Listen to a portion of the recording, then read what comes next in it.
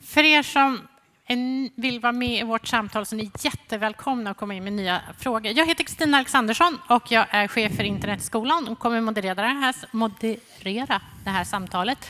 Och vid min sida så har jag Daniel Westman som är jurist och jobbar på Stockholms universitet. Jag har Dan, nej förlåt mig. Jag har Markus Bylund som har skrivit boken som finns i eh, den lilla påsen om integritet på nätet. Jag har Lott Hammar som är eh, sekreterare i Digitaliseringskommissionen, huvudsekreterare. Och så har jag Per Lennerö som är en av de som är initiativtagarna bakom Common Terms. Ja, men den första frågan är ju solklar. Har ni läst avtalen till de sociala medier som ni använder? Per? Ja, jag har faktiskt läst eh, 22 stycken av dem i närstuderat dem eftersom det ingick i mitt projekt att kartlägga vad är det som faktiskt står i de där avtalen.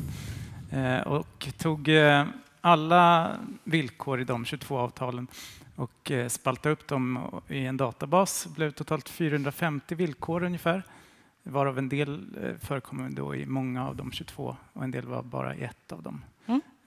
Alldeles strax ska du få komma tillbaka till det. Lott, har du läst avtalen? Några avtal, men kanske inte alls så många som jag borde. En förfärande mängd av dem är ju väldigt långa. Mm. Ofta klickar man reflexmässigt. Marcus? Några stycken, för att förstå att jag inte förstår. Mm. Daniel?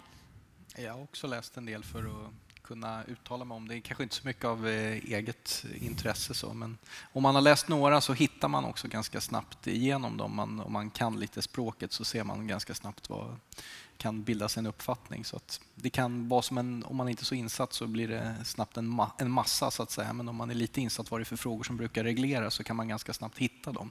Men visst, man måste vara noggrann och man kan, det är lite slarvläsning så att säga. Vilka, alltså, den här filmen tar upp några aspekter. Alltså, ni som är pålästa och verkligen kan det. Jag måste nästan vända mig till dig mest då, Per, eftersom du har, verkar ha läst flest. Eh, och dessutom systematiserat dem. Eh, stämmer deras bild av villkoren? Är det så här generaliserande att all data får användas emot oss? De det står inte explicit att de övervakar oss, men de får använda det för övervakning och så vidare. Är det så det ser ut? Ger filmen en korrekt bild av avtalen? Ja, jag är inte jurist, så egentligen är Daniel bäst lämpad här kanske. Men eh, ja, generellt så uppfattar jag att gratistjänster, där, eh, de är fulla av friskrivningar och eh, de ger sig själva ganska breda rättigheter på, på min bekostnad. Mm. Det så, Daniel? Ja, ja jag tycker alltså, det är klart att i, i, stor utsträckning är det ju så att det som togs upp här i filmen, en del, en del saker tror jag liksom är antagligen inte lagligt. Alltså att man säger att man eh, för, för, ofta det här att de så att säger att man, när man tar bort någonting från tjänsten så säger de flesta avtal att då, visst, det finns en teknisk tid under det, under det det liksom inte ska finnas kvar, men sen ska liksom materialet eh, tas bort, säger många avtal. Så det kan liksom vara både saker att man bryter mot sina egna villkor och att man har stöd för det i, i, ibland. Men det är klart att de skaffar sig väldigt, väldigt långtgående möjligheter att, att behandla personuppgifterna. Och det är klart att man måste vara medveten om att det är ju som visades här, liksom mycket av affärslogiken i, liksom att, i de här tjänsterna tjänsten. Att liksom, mycket data, det är, liksom, det, det, är det du betalar med. Sen kan man ju tycka lite grann, vi kanske kommer in på det, liksom att man, man så att drar in allting som är eh, negativt så att säga, liksom, och, och, gör ett, liksom ett väldigt tydligt case till det. Klart att sådana här saker som övervakning, eh, det spelar ingen roll om man liksom har klickat i ja eller nej så att säga. Liksom, för man kan ju ändå, staten kan ju ändå ha regler att de får övervaka, att de får hämta ut information. Så att de frågorna är lite så att säga, diffust. Möjligtvis blir det liksom en slags symbios, att sådana här tjänster som uppmanar oss och stimulerar att, att, att, samla mycket data, det blir så att säga mumma som vi såg här för de som liksom vill övervaka och kontrollera. Det är liksom aspekten. Men just att avtalet där det skulle inte spela någon stor roll vad som står där egentligen. Så länge man låter någon ha data så kan, de all, kan staten så att säga, alltid komma över ändå. De kan alltid begära ut den? Ja, precis. Och det spelar ingen roll vad det står i, i avtalet då egentligen. Mm. Liksom. Marcus? Nej, jag tycker att det är lite hårklyveri egentligen att engagera sig i frågan om huruvida man har läst eller förstått de här avtalen. För de är ju så uppenbart inte utformade för att vi ska få ett informerat samtycke. Samtidigt finns de ju där för att man ska leva upp till just det kravet, mm. att vi ska ha ett informerat samtycke. Men det är ju så många saker som ingår i ett informerat samtycke som vi inte får med de här avtalen. Så att den rätta frågan tycker jag egentligen skulle vara varför är de inte intresserade av ett informerat samtycke? Mm. Eh, jättemycket vi skulle kunna göra med avtalet, mm. med kommunikationen mellan avtalet, hur vi kan hjälpa till att skapa en bra förståelse för konsekvensen av att vi säger ja eller nej eh, och så vidare. Får jag fråga en sak där? Liksom, vilka är vi? Eh, den frågan ställs ju också i filmen. Det här viet, vem är det som ska göra det tydligare? Är det företagen eller är det jag som användare som ska ställa krav på det? Hur tänker du kring det, Marcus? Ja, när jag säger vi egentligen pratar jag kanske om användarbasen. Men, ja. men de som måste göra sin hemläxa här, de som måste förbättra sig, det är de som erbjuder oss tjänsterna.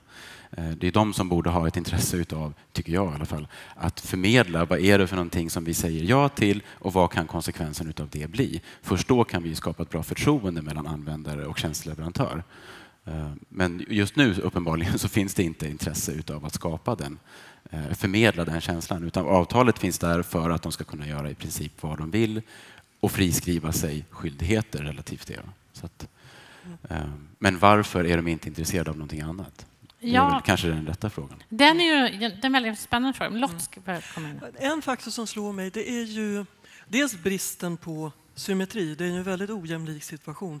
Man får ett paket Eh, punkter i ett avtal. Man har ingen möjlighet att påverka det. Förhandlingssituationen finns överhuvudtaget inte där. Om till exempel jag skulle ingå ett avtal med en tjänsteleverantör här hemma så skulle vi i någon slags samförstånd diskutera villkor. Här får vi ett paket vi bara förhåller oss till. Eller så väljer man att inte använda tjänsten.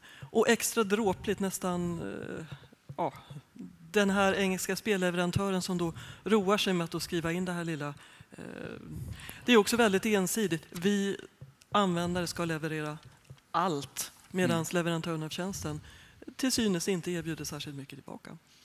Men, men alltså, du är inne på den frågan som är jättespännande, Marcus, nämligen varför, varför, varför går vi med på det här? Vad är, vad är det för någonting som gör att vi bara kryssar i lite slentrianmässigt? Det har ju ni alla funderat över, det vet ja. jag.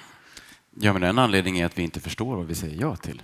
Det är en anledning till att vi faktiskt går med på det vi vet inte vad det är vi går med på. Jag, jag tror att en sak som de tog upp här, i, i, som jag tror, den här, så tror jag är en väldigt bra poäng, det är den här liksom default-grejen. Mm. Det, det, tror jag är oerhört viktigt att man liksom...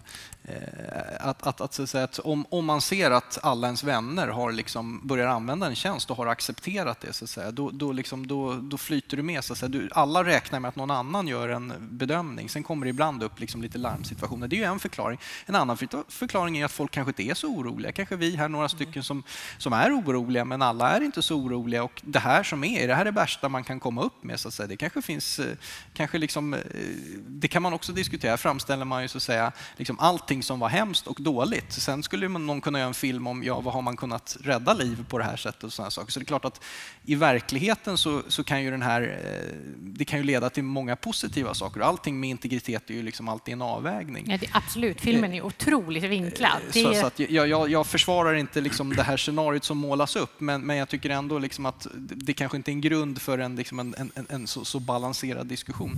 Men en sak som jag tycker också man ska ta upp är, är just det här med hur långt, som, som Marcus är inne på, att, alltså, hur, hur, långt kommer man egentligen med det här informerade samtycket? Liksom? Är det liksom, ska det verkligen vara, eller ska liksom staten ta på sig en annan roll och säga att det är inte alltid tillräckligt med informerat samtycke? Men I vissa sammanhang så har man ju tvingande eh, lagstiftning, så att säga. man kan inte avtala bort vissa saker. Och eh, nu, har vi liksom, nu litar vi väldigt mycket på att den enskilde ska kunna ta tillvara sina egna rättigheter och det är därför vi har de här avtalen. Att ja, men du har ju accepterat det här, så att säga. då är det väl inget synd om dig. Eh, det är ju ändå en fråga att, att väcka. Så att säga. Visst, man ska vara tydlig och tala om och så får folk välja om de vill ha det. Men, men någonstans så ser man att det här kanske inte fungerar och då kommer man till någon gräns eh, liksom, där man kan diskutera, ska man ha vissa tvingande regler som säger att alltså, alldeles oavsett vad någon har gått med på så kanske vissa saker ska gälla ändå och så vidare. Mm. Marcus? Jo, två saker. Jag, tycker att Dana Boyd sa en väldigt bra sak i, i filmen när hon pekade på just värdet av default-inställningen. Eh, om det är så att man är publik i början per default, ja, då anpassar vi oss efter det. Är vi privata per default anpassar vi oss efter det. Men en grundläggande sak där är ju att vi faktiskt förstår vad det är vi gör. Och där är transparensen väldigt mm. viktig. Eh, när det gäller värdet utav informerat samtycke så vet vi ju faktiskt inte om det räcker, därför vi har inte provat det än. Eh, jag tror att det kommer räcka ganska långt. Sen får man börja diskutera, mm. måste vi komplettera med någonting som är tvingande också? Men steg ett måste ju vara att faktiskt komma mm. att, få till stånd ett informerat samtycke i de här situationerna. Och där är vi väldigt långt ifrån mm. idag, mm. tyvärr. Mm. Mm. Lott? Ja, vi är ju alla i förtroendebranschen på ett eller annat sätt. Och eh, en viktig del i den digitala agendan är ju att utveckla tjänster och möjligheter som upplevs säkra och enkla att använda. Vi vet att en betydande del av Sveriges befolkning väljer att inte vara digitalt delaktiga. Vi har sett Olle Findahls siffror att av de 1,1 miljoner i runda slängar svenskar som inte är digitalt delaktiga är ungefär knappt 8 av 10 det för att man väljer att inte vara det för att man inte ser nyttan. Jag tror att en viktig förklaringsgrund är här att man känner sig inte säker, man vet inte vad som händer, naturligtvis finns det teknikmotstånd, men också en slags okunskap. Vad händer med min information? Vad händer med min integritet? Och i spåren av Edward Snowdens avslöjande eh, och den diskussion som det har blivit över hur övervakad vi dels blir, dels accepterar att vara, tror jag att det här faktiskt är mm, hårt ord, men ändå på något plan en förtroendekris vi går igenom just nu. Mm. Hur ska vi förhålla oss till att få fler digitalt delaktiga om vi själva, som redan är det, inte riktigt kan garantera vår integritet? Per? Det finns en skillnad mellan den fysiska världen och den digitala världen som gör att jag tycker det behövs en förändring av den digitala världen. I den fysiska världen, de, många som man gör affärer med, de har en butik som de har köpt och investerat alltså och låst fast sig vid den platsen. Det gör att de är tvungna att sköta sig för att skydda sitt varumärke. På nätet kan man göra affärer genom att köpa en domän för 100 kronor och that's it ungefär. Sen kan man kasta upp en eh, e-handelssajt där ja, för en mycket blygsam peng. Och det är ju när man har en ny nätsajt, eh, det är då som folk testa det. Alla som ska vara lite föregångare måste ju testa allting nytt. Och då kollar man inte deras avtal, men det är då man borde göra. För de som man sen väljer att behålla, de, då, då har man godkänt de villkoren den där gången när man testade tidigt. Eh, och de, ja, man utsätter sig för en risk då eh, som man kanske inte gör lika lättvindigt i den fysiska världen. Så jag tycker att eh, det behövs en bättring av den infrastrukturen som finns runt den där lilla kryssrutan, ja, jag godkänner. Och eh, det har inte funnits incitament för att ta fram någon bättre infrastruktur hittills. För de som gör affärer på nätet, de har ju ganska skönt att inte behöva anstränga sig om eh, interaktionsdesignen på det området. De har mycket annat att tänka på. Eh, men där tror jag stater och andra kan hjälpa till genom att kanske ja, i viss mån lagreglera, men kanske också hjälpa forskning kring hur kan man förbättra den avtalssituationen och så. Absolut. Jag kan tycka att en, en, del av den tes som drivs i den här filmen är ju att staten inte är intresserad av att tydliggöra villkoren därför att de gynnas av det själva. Eh, för det är ju inte lillebrors mm. övervakningen man diskuterar i den här filmen utan det är ju onekligen eh, storebrorsövervakningen. Mm. Eh, den som du är inne på, den skulle man kunna få ändå. Det mm. behövs inga avtal för det, säger du Daniel. Det, så tror, fast, det, alltså- fast det bygger ju på att, så att, säga, att folk vill stoppa in sina data i tjänsterna. Så att ja. säga. Annars, finns de inte lagrade någonstans eller kommuniceras de inte så kommer de ju inte åt det naturligtvis. Så på det sättet hänger det ihop. Men det var just bara liksom själva utlämnande mm. frågan jag tänkte mm. på. Men. Ja, men alltså, för, alltså, och då, ifall det inte finns ett incitament hos mm. statsmakten därför att mm. man ser en vinst i att de är konstruerade som de är. Nu, nu tror jag inte liksom att man ska se statsmakten som en enda, liksom, eh, ett enda huvud här. Liksom, när, eh, det, det, det, som digitaliseringskommissionen kanske inte tycker att det är bra att det är otydliga villkor till exempel. Men det är klart att jag menar, vissa delar av statsmakten tycker ju liksom att det här är bra, att man får tillgång till den här informationen. Jag menar, det finns ju motsättningar och spänningar inom, inom, inom statsmakten också. Så att säga. Det finns de som liksom kämpar starkt för eh, rättigheter, konsumenträttigheter, yttrandefrihet yttrandefrihet och så finns det andra som liksom tycker att det är bra att den här typen av information finns. För de tycker att det behövs för ett viktigt behjärtansvärt syfte och sådär. Och liksom, det är klart att det handlar om att, att, att, balansera de intressena då naturligtvis. Att jag menar, I vissa fall så, så har man rätt att få tillgång till information och det, det är bra att det finns och så. Men, men sen finns det massa andra dimensioner på det här också. Det stora problemet här är ju egentligen, jag menar, det har alltid funnits standardavtal som vi har accepterat och så. Liksom när man har beställt en resa så står det längst bak i katalogen förr i tiden att det här var villkoren. Det accepterar man. Det anses liksom att man har accepterat det fast ingen har läst. Det är samma problem. Det som är, det som är skillnaden nu är ju att så, vi lägger hela vårt liv i de här tjänsterna och det blir så många mer aspekter på det hela då. Det blir så, så mycket större dimension på problemet. Så att, så att, liksom att, att lita på det här standardavtalet i den situationen blir, det blir så mycket större problem. Så att säga. Så att, jag tror att det var Marcus, eller så mm. flörtar han bara med mig. Alltså, jag, jag, personligen, jag kanske är naiv, men jag kan tycka att det är lite väl konspiratoriskt att säga att vi har en dålig eh, integritetslagstiftning på grund av att staten vill att kunna övervaka. Ja. Eh, det, jag, jag ställer inte riktigt upp på den. Men, jag tycker, och det är kanske också problemet med eh, vinklingen som den här filmen tar överhuvudtaget, att det blir så väldigt exotiskt. Mm. Det, det, är så väldigt eh, allvarliga saker som händer och, och, det är ganska få dessutom som man kan visa på. Men, men då tycker jag att det är betydligt värre om man tittar på sin vardag. Vad är det för små beslut som påverkas av det jag har gjort på webben tidigare? Eh, just nu så tycker jag att det är väldigt spännande att fundera över just eh, myndighetsrelationer, relationer myndigheter och medborgare. Och då kanske det inte är att polisen stormar in, men, men eh, till exempel om jag vänder mig till en myndighet för att söka råd, min Flashback-historik, påverkar den den handläggarens beslut i den här frågan mm. till exempel? Och vad har jag för möjligheter att förstå att det påverkar den frågan? Eller om jag överklagar grannens bygglov till exempel. Den handläggaren på kommunen som förstår vem jag är via mina Facebook-inlägg som är väldigt vinklade för en viss publik. Är det okej okay att det blir en del av det beslutet som fattas där? Eh, samma sak med relationer med, med, med, kollegor och vänner och så vidare.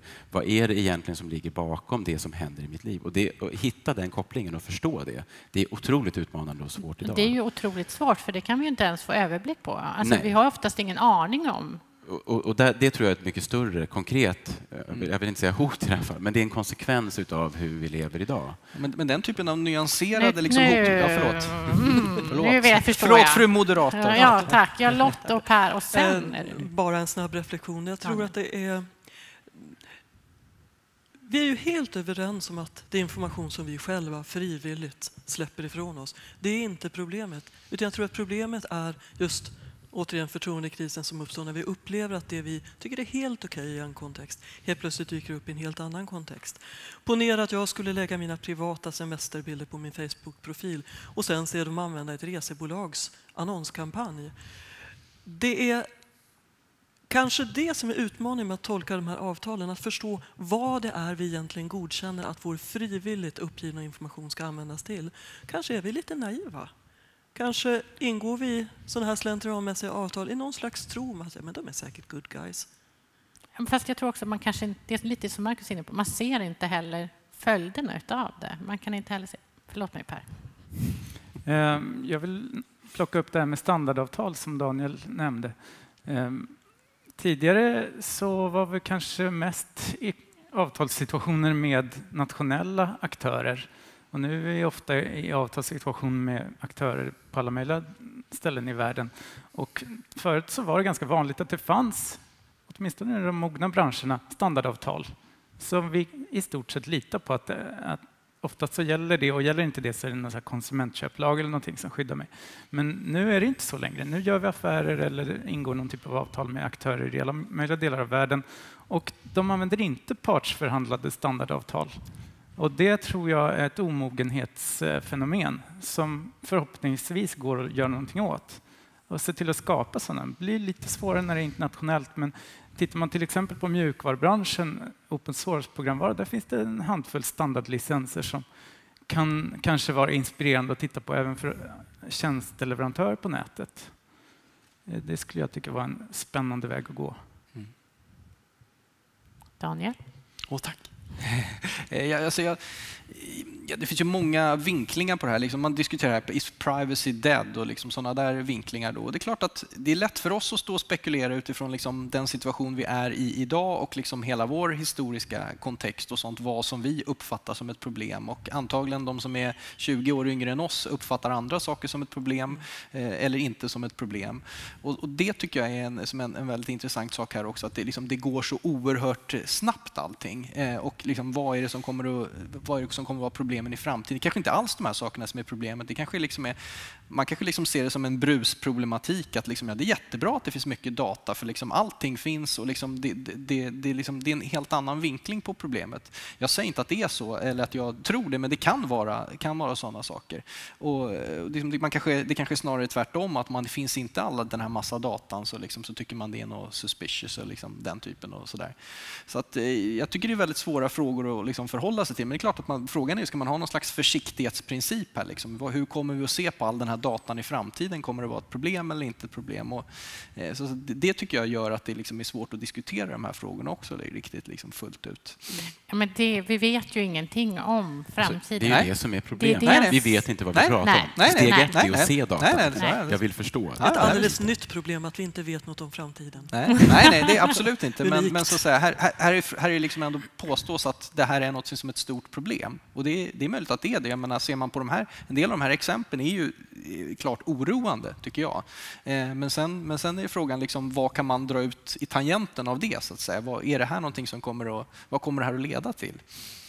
Eh, men ja, tillitsproblemen tycker jag de är ju verkligen stora. Om det är så att folk... Då, då har vi liksom ett problem här idag redan också. Så att säga. Om man liksom börjar, vi här idag börjar tänka hur kan det här användas imorgon och därmed agerar vi på ett sätt som vi inte skulle agerat annars. Då har vi ett problem redan nu som vi kan se helt klart i alla fall. Det tror jag att vi har. Men Marcus? Ja, alltså jag vill bara understryka att jag är inte motståndare till stora datamängder. Alltså jag jobbar på nej, en, en, stiftelse, nej, Som, som, som, eller ett institut som, som jobbar med de här frågorna och, och faktiskt lever på stora datamängder mm, och vi gör, skapar mm. ett, ett stort värde i de här datamängderna. Den springande punkten är ju hur vi gör det och hur tydliga vi är med det ja, och varför vi gör det och vem som drabbas av det vi gör. Mm. Eh, och det är möjligt att vi i vissa sammanhang måste säga att ja, det här är ett så stort värde så att vi måste leva med att en viss del av befolkningen drabbas av det här. Mm, mm. Och det skulle kunna vara helt okej, okay, mm. men vi måste lyfta upp det på bordet för att kunna ha debatten och diskussionen. Mm. Och det är ganska lång tid. Får jag bara koppla tillbaka till det du sa om standardiserade avtal?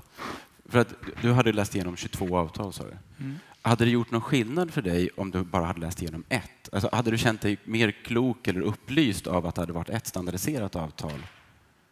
Alltså jag, förstår, jag förstår, vad, vad, hade det bidragit till att det var en standard? Ja, så hade jag läst på... ett och så ser jag att det är samma avtal på nästa sajt, då är det ju jättebra, för då Ja, just det. Men det, då vet jag ungefär vad det gäller. Då känner jag igen det. Fast hade du förstått mer av vad som hände med din information? Alltså... Ja, så otroligt svårt tycker jag inte det var att läsa. Det tar väldigt lång tid. Men eh, utan juridisk utbildning så kan man hyfsat förstå vad det handlar om, tycker jag. Men problemet är väl att det är olika typer av tjänster också. Så att om, om ja. du har ett, ett avtal, då måste det vara ganska abstrakt. Ja. Då blir det så, då blir problemet att avtalet inte i detalj... Nu är det ju redan så idag att det kan vara svårt att förutse därför att man har mm. ett ganska abstrakt språk. För man försöker ta höjd för att tjänsten kan utvecklas på olika sätt i framtiden. Men det, där har du problem, skulle det vara ännu större problem om du liksom för alla sociala medier hade ett avtal. Då är det klart att, eh, mm. då, är klart att då blir styreffekten då ganska dålig å andra sidan. Så det, hur man än gör så blir det något problem problem. Liksom. Nej, det går inte att ha ett och samma avtal Vet för alla. Ni Klockan tickar mm. iväg. Och det är så att Marcus mm. har en tid att passa. Det stämmer. Mm. Och det har jag sagt att vi avslutar. Jag vill ju fråga, jag vill ju fortsätta prata med er hela kvällen. Det här är liksom drömmen, att få prata om integritet. Speciellt med så kloka människor som ni. Eh, ni som inte har läst Marcus bok, gör det. Den är jättebra kan jag säga. Du har ett releaseparty som du ska gå för. Ja. Och jag skulle egentligen bara vilja, alltså jag skulle vilja fråga mer om integritet, men jag ska avsluta här och tacka så jättemycket för er som stannade och lyssnade. Tack för idag. Mm. Tack. Tack för att ni kom. Tack. Tackar.